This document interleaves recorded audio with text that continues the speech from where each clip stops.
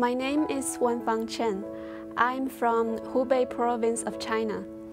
Uh, before coming to KAUST, I did my bachelor's degree in mathematics at Beijing Institute of Technology and my master's degree in econometrics at Xiamen University in China.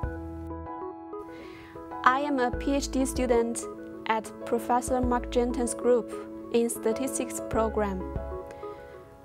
My research here at KAUST is focused on spatio-temporal statistical modeling of wind energy assessment and wind extremes.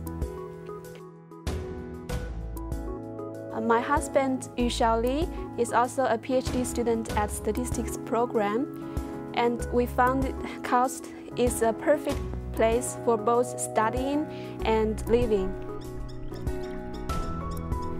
We have good opportunities to learn both on campus by uh, various lectures, seminars, talks, and uh, speeches. And also outside the campus uh, with uh, the international conferences and uh, workshops. And we love it here, KAUST.